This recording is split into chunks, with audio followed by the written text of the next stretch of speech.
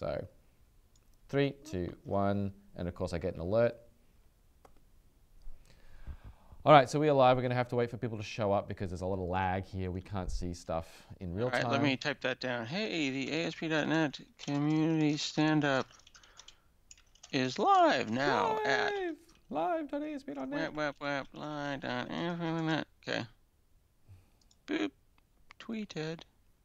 And oh, of course, I didn't have TweetDeck open, so let me wait for the world to refresh. And Amazon HQ thing. What's that? Does Amazon pick their HQ? Well, yeah, I heard it's it's a split between New York and some other place, and Uh, it's not New York. It's Long Island City. well, they renamed it to something Landing or something. I don't know, but it's down the street from Maria's house. Okay, She can like see it from her. is that her not in. New York? Uh, no, it's in Long Island City.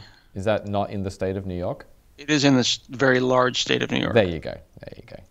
All right, did I? The point is, though, that's it's like. Lower Queens. Okay. And It's another over- place, right? No one's talking about the other place, wasn't it too? Uh, Crystal City, okay. which is funny because it that like between Long Island City and Crystal City, it sounds like like two fake city names from The Flash. you know what I mean? Like they're not going to be in Star City. Yeah. So I want to say hello to everyone. We do have people here now.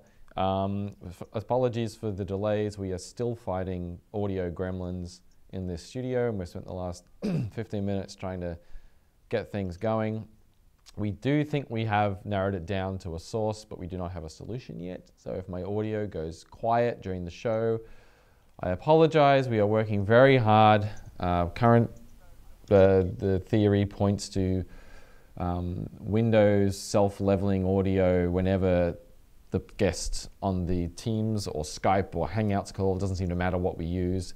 Someone goes, oh, someone's trying to talk through a communications channel, and then it mute and it, like it drastically lowers the volume. So we've tried to turn everything off. We have threads with product PM manager engineers from all the various teams, and we're trying to really figure this out because we'd like to just to have it work when we walk in. But we do appreciate people uh, listening to us anyway.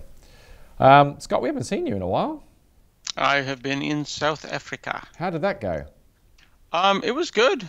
Um, I survived. It was um, That's Not- that's a pretty low bar. it is kind of a it is a little bit of a low bar. Lots of uh, lots of wedding stuff. Three weeks of three weeks of South Africa, man. I mean, you have to drive on the wrong side of the road, which is a thing. Um, the internet is slower oh yeah, that I can yeah I can by a lot. Yeah. It's the first time that I've been there and had internet though. Did you good. unplug though? Did you like consciously? I haven't I heard from didn't you. unplug. I think Hunter teased me about this, but I need people to understand that I feel better occasionally deleting email. Mm. You know what I mean? Like everyone's like, "Oh, it's such a great thing. I unplugged."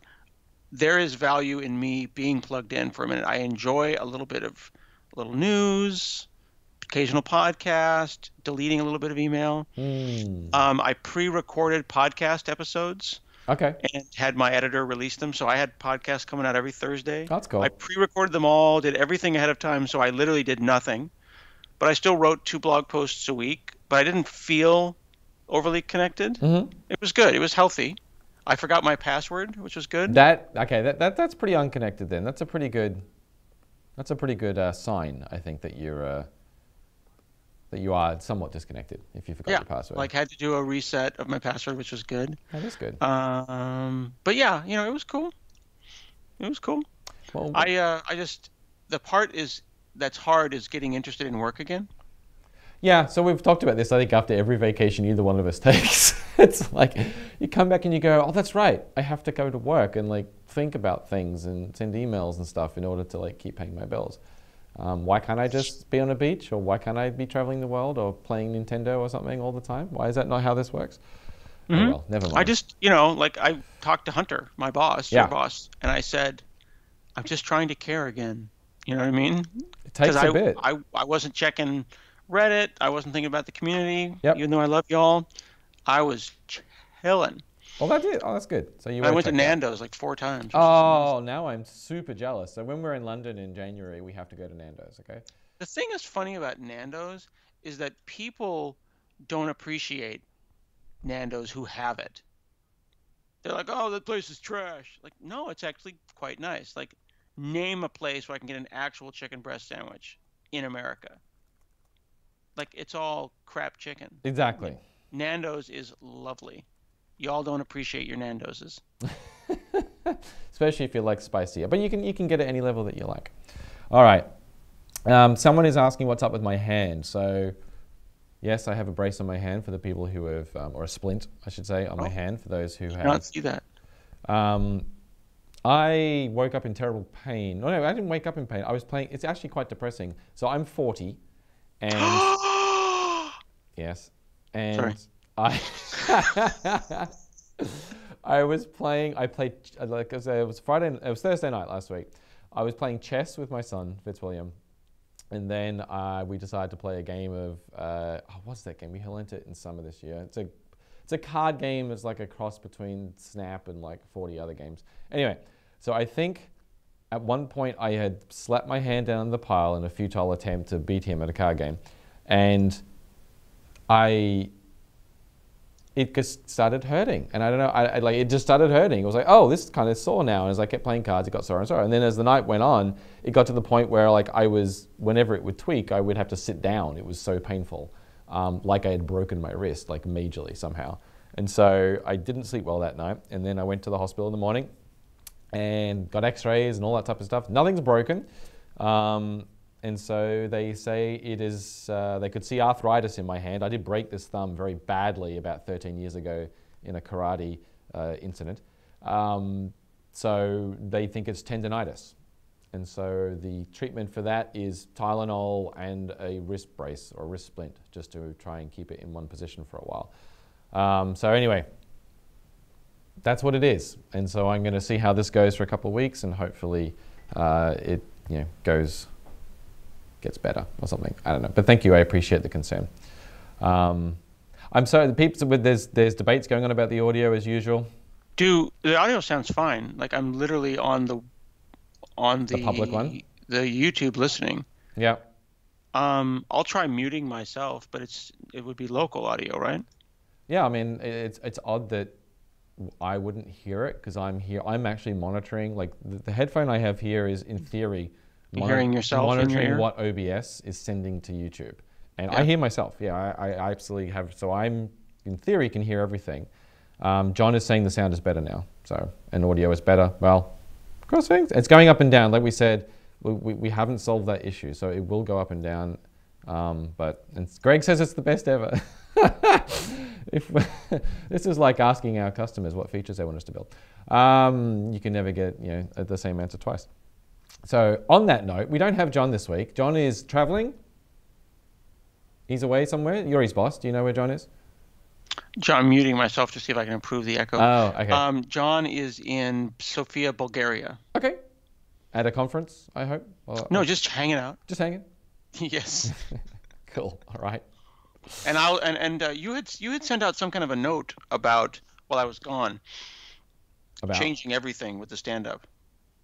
Oh no, we haven't. Yeah, we just- show up more We can we can talk about that today. getting- We've been meaning to chat about it on the show, and I haven't yet. I have feelings about it, so I'm happy to talk about it publicly. I don't hide. Like I, I'm kind of, I'm very two-minded about it, but I'm very happy. I, I'm taking on feedback from other people, and I've asked the community what their thoughts are, and as expected, we got two types of feedback. One was uh, quite more dominant than the other, but we'll chat about it. Okay. Um, but other things that happened while you were away, obviously, we were you here when we did preview three, the last preview of two two? I think you were. We, oh, you, no, you I weren't. don't, I don't you did a think blog so. post. You did a blog post. You did a blog post. You Yeah, updated. I, I think I did a blog post where I upgraded. Actually, let me look at that. I did an up, I did a blog post a couple weeks ago, late day, no, week week and a half book ago, where I upgraded to, to yeah, there it is, uh, on the sixth. Sweet.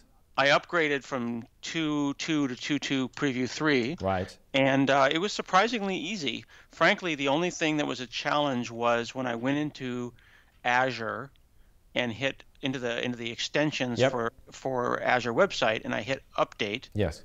The first time I got an error saying it couldn't update it while it was in use, Oh, interesting.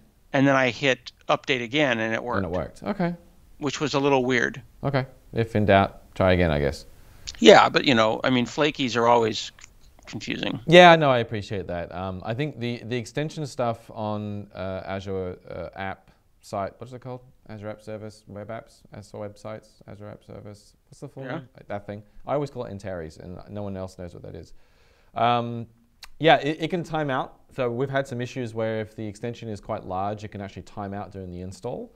Um, and the other one you mentioned, which is sometimes it decides it can't overwrite a file or something because something's in use. So um, yeah, just trying again is usually the, the best remedy. But yeah, I was actually happy to see your blog post was very much, I just do what I normally do. I ran my favorite open source tool to determine what needed updating. I, I liked that you called out to the docs to talk about why the meta package shouldn't have a version, because we had discussed that on a previous show. I still feel that that's a little bit confusing. No, it is confusing. We acknowledged it, like open completely that it was confusing, and that was being redesigned in 3.0 to hopefully make it less confusing. Yeah, um, yeah we, you know, uh, I, we we discussed this on a previous show, right? We went through a I whole see. history of this. Yeah, yeah, yeah. There's a reason why it is why it is the way it is. Well, and ultimately, when the things like the thing that made, if you look, take a look at my blog post, Yeah, I I'm looking at it to it in the comments there.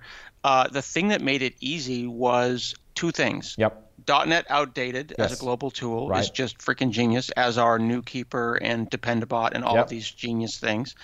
And then B, knowing that the framework version should not have a version that should be versionless. Right. It's that B that is the challenge, like knowing that After we talked about this last time, I thought someone ended up sending a PR or opening an issue. to to NuKeeper. Ah, but not all of the .NET outdated. Okay. outdated things have been have been updated like that. Okay. Okay. Um, but I wanted to show you. I think I showed you this. Let me share my screen. Is that, is that am I allowed to do that? Yes, of course you can. Uh, tell me if you can see this. I can see your face, your avatar, and then I'm assuming your screen will pop up. There it is. Okay. So you see this here? Look, Dependabot. I love this thing. This is the Sent thing you host yourself, request. right?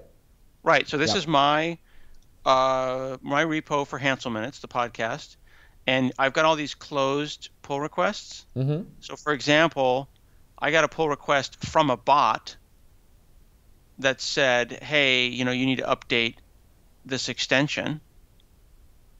And then lo- look at this. It leaves a comment later saying, "Oh, well, you got around to that, or somehow it fixed it." And then it actually closes and deletes the branch. Oh, that's very cool. Where do you Fucking host that? Genius. Where do you host it? Ah, it's hosted for you. Oh, I thought you had to host Dependabot. it yourself. No, no. So there's there's different bots out there. So Dependabot is a is a thing, Okay. and and you it'll support lots of different languages. .NET is in beta. do you have to pay for it? Uh, these are the languages, Okay. and the pricing I haven't Ah. paid yet. Open Oh, open source, source accounts free. are free. Oh, wow. Yes. Now NuKeeper, NU Keeper, Right. is another that um, that that you can host yourself, and then .NET Outdated is one you can do with the command line. So it's cool because it actually like feels like you're talking to a person. Hmm. You know what I'm saying? Now check Hmm. this out. It also is really smart about what it adds to the comments. You see this here? Yep. So I've got a link to the compare view, right? It sends you off to where the actual thing happened. So if I open this up, let me go to another PR. Let's look at a closed one. Uh, here you go. MarkDig got updated, right? Right. Look, they dug out the changelog. Oh, wow. Wait, how did they do that? So they figured out where MarkDig is in NuGet, followed it back to its GitHub, Huh? mapped the version to its changelog and then dropped the changelog into the What do you comment mean? about why Sorry, you should but like it. changelog isn't a Git thing. Do you mean like the GitHub releases or the tags or like how are they? Changelog.md. Oh, okay. So there's enough conventional information. We don't do that. We don't have changelog MD in our repos. Well, you need to. Why? That's the first I've heard of it, honestly. Well, let's go figure out if it did that. So here's look. Here's hmm. ASP.NET Core app. Yeah. They don't have a changelog MD because you suck, Yeah. but they brought in the commits, and then you can go over to the commits. How do folks generate their changelogs? I'm assuming there's a tool for this. I bet you there probably is. Let's look at this one. So here's coverlet. There's commits. Here's SkippableFact. There's commits. Here's AltCover. Here's release notes. So how do they do that? They got that from slash releases. So we do have releases. So I'm wondering why So the idea is that they found this number Mm. in the NuGet, and then they went and found it in one of the X places. So hang on. Sorry, I'd like to really understand the bouncing balls here, like how they get from one node to the next. So obviously there's NuGet, that makes sense. In NuGet, there is in the package there is metadata that points to the GitHub repo. Is that what they're looking at? I'm guessing. Because we have that data. Maybe our data is out of Yeah, date. yeah, yeah. Maybe it's out of So then, then if And we look at it, so MarkDig was one, Coverlet. Let's try Selenium. And then from there, they can determine if you use releases, they can match the version up with the release, which Right, makes or sense. Or changelog.md, which is or like a a standard changelog thing. MD. But How do they pick the right one? Do they go to a tag or do they go to a branch? Well, so what it appears to be doing, and, Yeah. and, I, and I can only say that as a user of the thing, hmm is if it's release notes, they drop in it from this version down. okay. They look see this version, and then this is like a header or whatever, yep. and it actually says sourced from right there. right. But under changelog, sourced from this one pulled from releasenotes.md. That one. Oh, that link did. Yeah. So Hmm. changelog MD, release notes MD, there appear to be a heuristics, like it's looking for That's this file dot this cool. and this file dot that. So Stuart Lang says some use Git release notes for that, which must be a tool. Okay. So the point is, we should be doing that. Yeah, I totally agree. And then look at this. yeah, then they commits- pull yeah. out the commits. yeah, that makes total sense, right? That's that's. yeah. And See again, this one here? I'm assuming that's based on the commit shards that are logged with each release in the releases tab.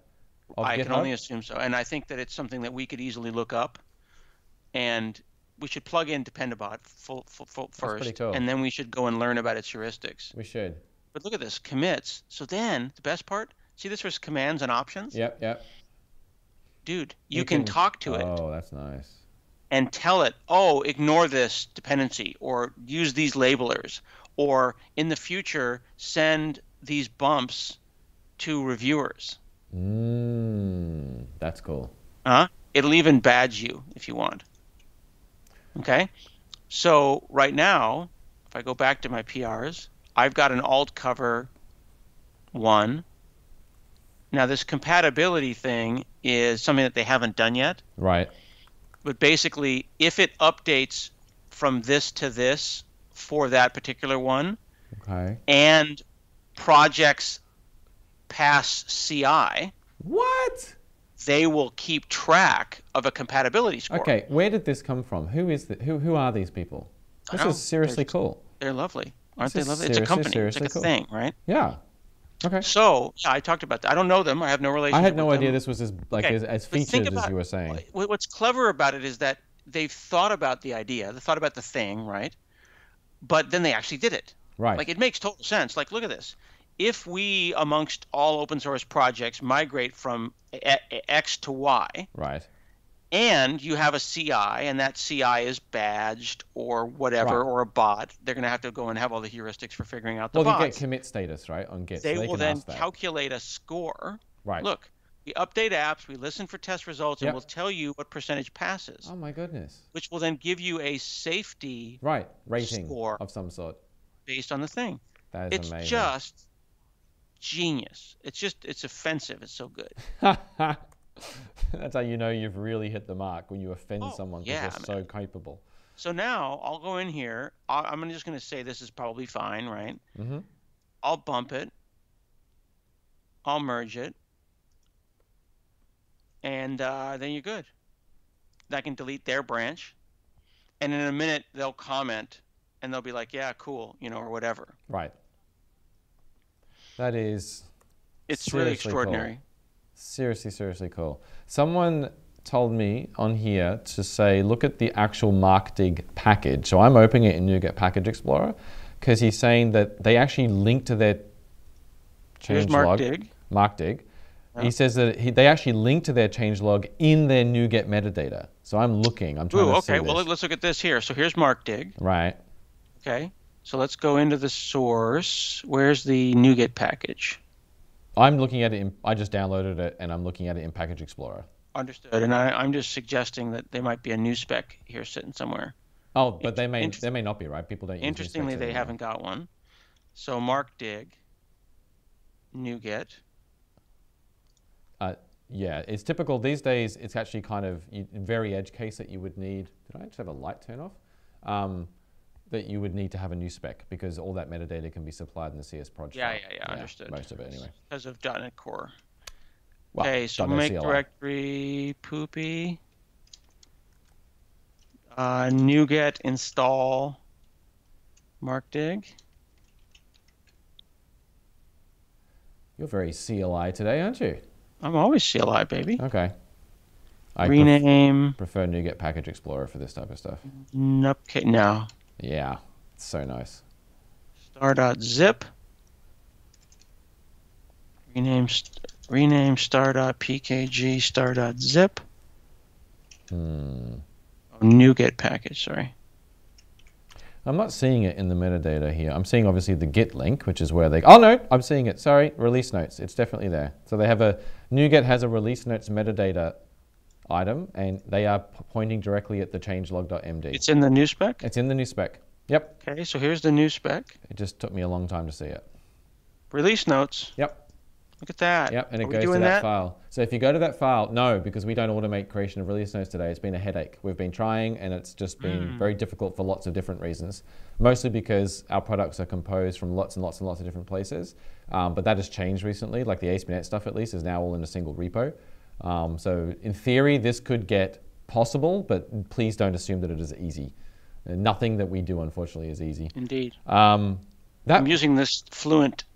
If you use this yeah, the new terminal. Fluent terminal, it's lovely. Could you just that that URL that they had? The can you just open that changelog file? I just want to go we'll go right to the end of this experience and just understand what that file looks like. Are they so if we look at the source of it, it's So- just a bunch of H3s or okay, H2s. so in the Dependabot, were they picking the heading that was relevant and only showing that, or were they showing the whole Yeah, thing? look. Oh wow! No, just they showed the whole look, thing. Oh no, no, they did the the range, diff. dude. They did the range.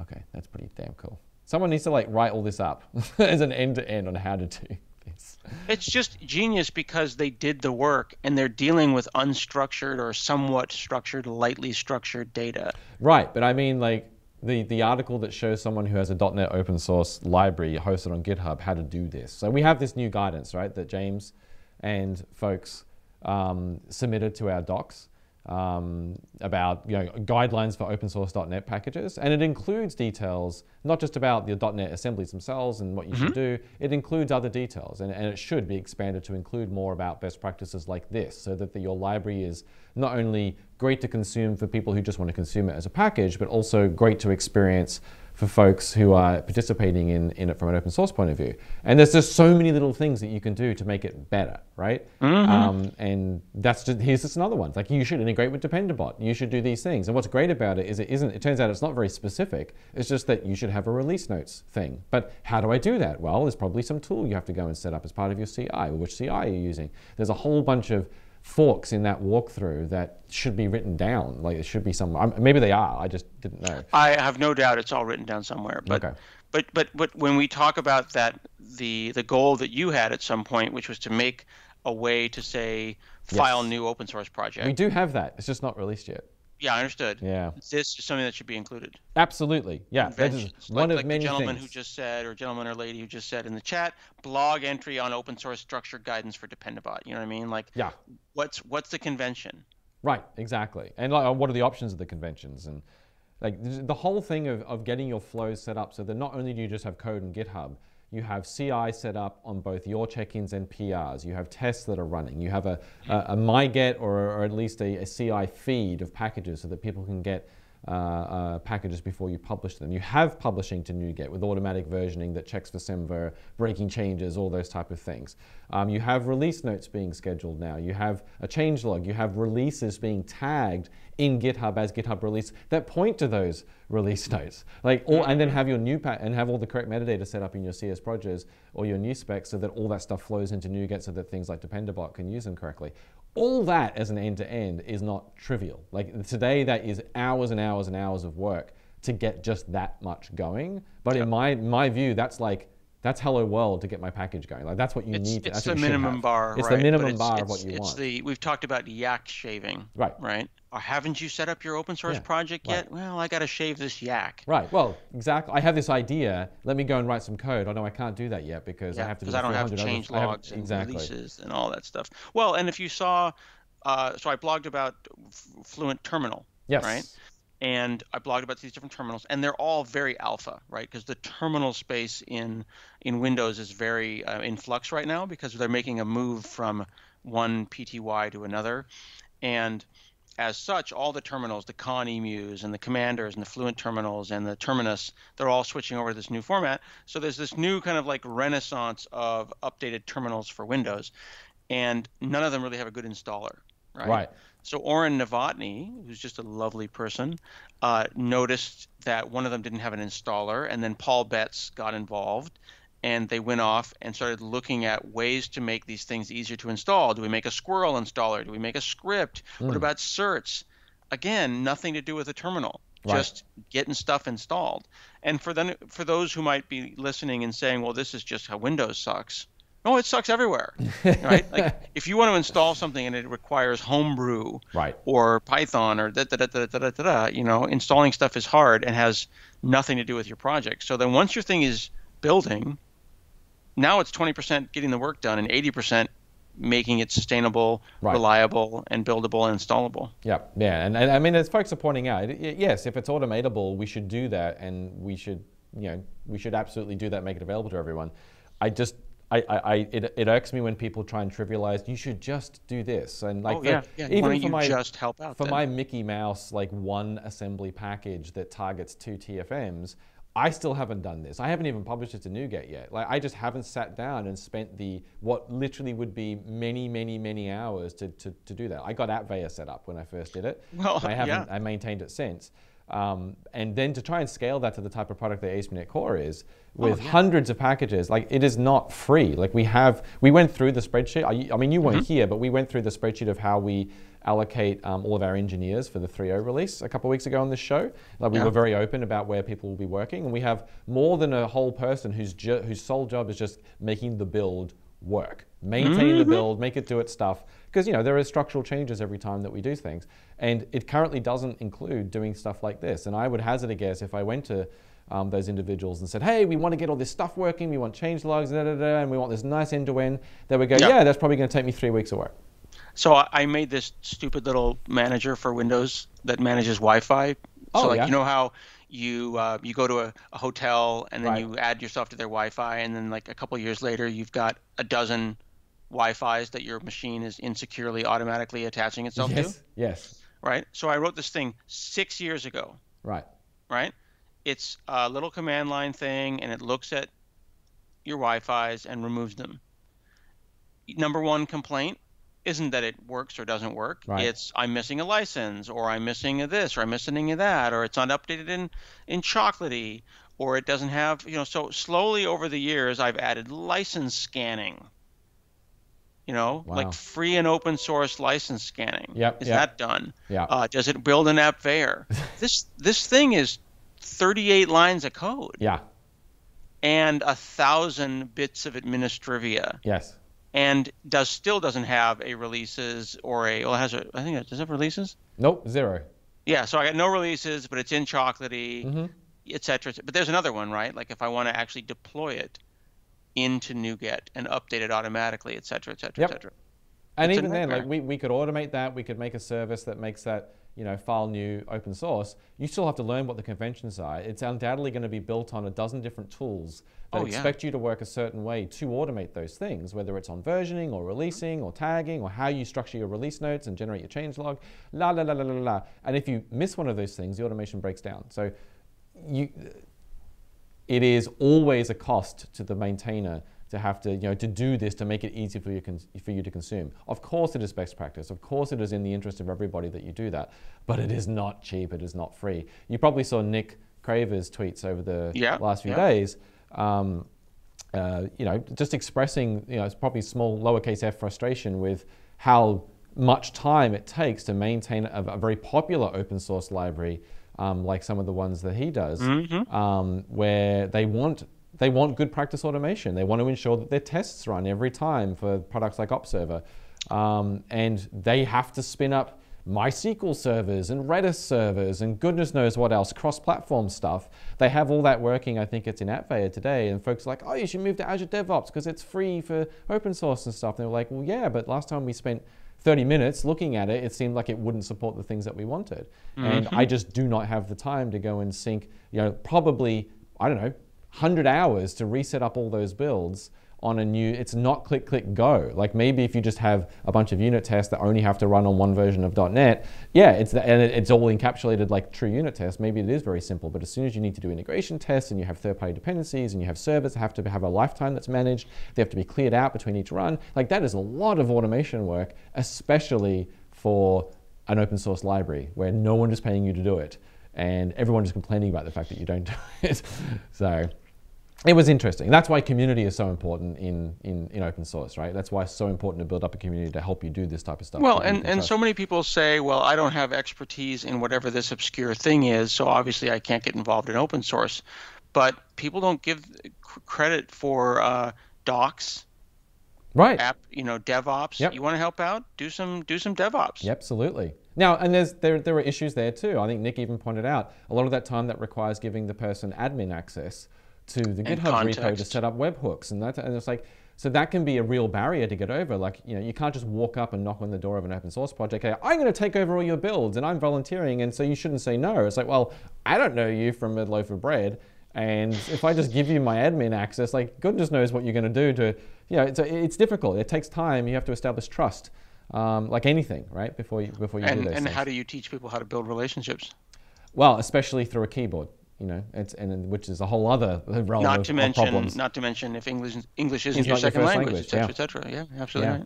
Right. Um, I did want to spend some time before we go today. I did promise that we would chat briefly about the uh, changes I talked about potentially bringing to the stand-up.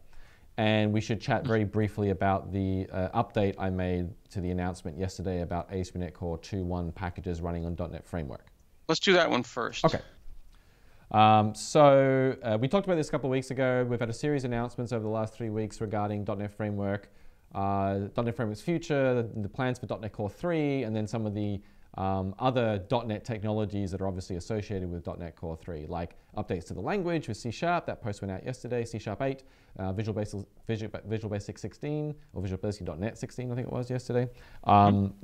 Uh, .NET Standard 2.1. We had a post last week talking about uh, what's coming in .NET Standard 2.1 and how uh, that won't be applied to .NET Framework. And then there was the post before that, my post about ASP.NET Core, um, yeah, this one here that you're showing now, um, ASP.NET Core 3. And th this post was focusing on changes, not, not new features. I'm going to do another post about features. I, I spoke about features on this show last week, and then I owe the community a post about uh, you know, detailing what we know about those features right now because the team has actually started working on them. Mm -hmm. um, so the, the announcement there, there's the update that I posted yesterday, which was based on feedback that we received um, from a few folks, uh, quite a few folks in the community. Uh, they would like to have somewhere to land where they can use ASP.NET Core on a runtime that is supported longer term than the .NET Core LTS policy. So .NET Core LTS is three years. 2.1 is the current LTS. It went to it went LTS in August this year, so it will be supported and serviced to at least August 2021, which is three years out. Um, mm -hmm. And uh, ASP.NET Core 2.1 uh, is tied up in that uh, support policy, and so it was going to end of life at that point, and then folks would have to move to uh, 3.0, but that would be a problem if they weren't ready to move off .NET Framework. So we've announced a change to the policy, which is we're going to treat the ASP.NET Core 2.1 packages Mm-hmm. Um, because that's how you use them when they're on .NET Framework. They're just packages, right? There's no shared frameworks or runtime stores or any .NET Core fancy things. They're just packages. They get shipped inside your application. Uh, we're going to add them to the support policy that we have for the other package-based ASP.NET frameworks. So MVC 5.x, SignalR 2.x, Web API, uh, 2.x. That's the link that you're showing there, which mm -hmm. is the mm-hmm. ASP.NET Support Lifecycle Policy, which has clear details there about end of life for the previous versions, um, how we treat these packages. And if, if folks don't know, I, I, I, added those links on purpose, obviously, obviously, so folks can go and understand mm -hmm. how those are supported. Um, and they're effective, you know, there is no end time put on that support policy. That policy has been N minus one for quite a while, which is you know we support the latest version and the version behind it. Um, so I think we've announced the end of life for uh, MVC 4 and Web API 1 and SignalR 1. I believe it was on that uh, page you were just looking at. I think it's June next year, um, which means that the minus 1 will become MVC 5 and Web API 2 and SignalR 2, and then the N will become the ASP.NET Core 2.1 packages. Does that make sense? Because they're the package-based frameworks and they will run on .NET Framework. And so that effectively means they're supported indefinitely. Like there is no end date attached to that. It's just they're part of the N minus one policy. So if I can paraphrase and understand, and tell me if I get this right. Okay. So then ASP.NET Core 2.1 is baked enough that it will be supported for, like you said, indefinitely Right. beyond three years. So if On, you're sitting on, around .NET, on .NET Framework. on the .NET full when you framework. run them on .NET Framework. Okay, so let me let me see if I understand then. So there's a group of people out there who are saying, you know, I, I run on .NET Full Framework. I like Full Framework because it's been supported for 20 years and it will be supported for 20 years. I mm-hmm. want a web framework that can sit on it. Yep. I'm not going to have this slow-moving, reliable thing, the .NET Framework that I've counted on that runs my freaking business, Yep. and then put some web framework on top that I want that that I have to update in a year or two or three. Sure. Yep. I want to put it live and have it work for five years or six years. right. Well, it's more than work, right? I mean, because obviously it'll Well, not keep work. Working. It'll work forever, but it'll be supported and, Supported and indefinitely. Yes. So, So it's a, if a super LTS, security, LTS plus plus. Right, which is what we've run the package-based frameworks under for a while, in the sense that you know they don't get new features. We haven't added features to MVC5 or SignalR 2, um, but we, we we do do security fixes and stability fixes. Sure, for them, right? sure. And so that it is that type of support. And so the, Okay. the it was typically the the biggest thing was that folks wanted a place to uh, as a stepping stone to migrate to. So the move from you know a system web-based ASP.NET application to an ASP.NET Core on .NET Core application is basically a rewrite, right? That's a really big jump. Um, so that the middle the middle stepping stone of ASP.NET Core on .NET Framework at least gives folks a place to target um, if they still have dependencies that are very Windows centric or um, you know tied to .NET Framework for some reason. Now, as we've as we've said, like you know, as we've gone through .NET Core um, and added new APIs, it's gotten a lot easier. There are a lot more APIs available on .NET Core now than there were in the first version. Um, thanks to .NET Standard 2, thanks to the Windows Compatibility Pack, which adds like, I don't know, 20,000 more APIs or something. And Okay.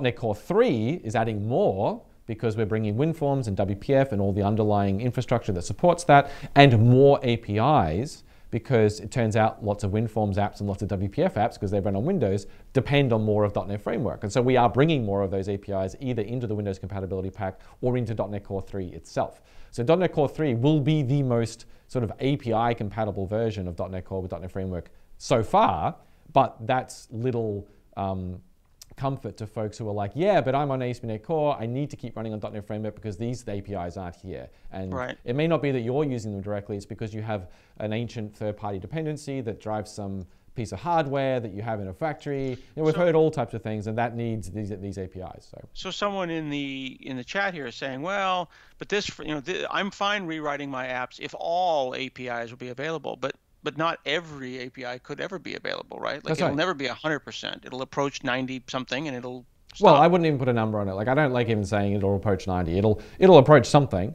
And I see. you know, we've only had two versions, so like I don't want to, uh, correlate, you know, try and extrapolate a history out of that. But we can certainly say there are more coming in each version, but it'll it'll flatten out at some point. There are APIs that are simply subsystems of .NET Framework that have so little um, use or are just old. They're just not really um, designed in a way that we want to have them in the modern framework because they yeah, tie well, us I'm into not going certain to do things. COM plus transaction manager work in .NET Core oh. 3.0. Well, you might not, but a lot of our customers who want to port their WinForms apps to .NET Core 3 will, and that's why COM is coming in .NET Core 3. Seriously. Yes, COM plus activation will be in .NET Core 3 because it's required. That's how WPF works. Like a lot of the stuff under the Ah. covers works that way. Um, and so this is us again balancing how do we innovate Mm-hmm. and, and, and try and make things, you know, bring new value for new workloads and new scenarios as customers want them, while not completely abandoning the, as you said, nearly 20 year history and longer if you include all of Windows, because mm-hmm. you know, Windows is kind of the thing that has just worked forever practically with, with everything, right? They, they treat backwards compatibility very, very seriously. And obviously, we do for .NET Framework as well, which is why a lot of these changes um, have happened. So we can't do the things inside .NET Framework because it just breaks too many applications. It's on one and a half billion machines. That's billion with a B. Um, and so we're moving functionality over to .NET Core based on customer demand. And you know, strategic alignment with where we want the framework to go, obviously, um, and we will continue to monitor monitor those things. And so, again, we've made this a policy announcement so that folks can feel a little more comfortable if they still plan to move to .NET Core, um, but they feel like they need that stepping stone. Or, like you said, there are scenarios where they want to run on an underlying framework and a web framework that they know will be serviced for a lot longer than the three-year LTS policy that is part of the .NET Core uh, uh, family of products. So, so there's that.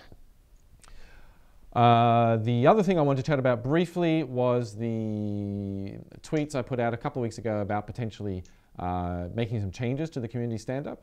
So I, we did get some feedback uh, from some other folks internally that they would like to be able to. So we- we've seen this show's format copied by a few other teams um, over the last four years, and the .NET community is obviously larger than just ASP.NET. There are other .NET shows. There is on.NET.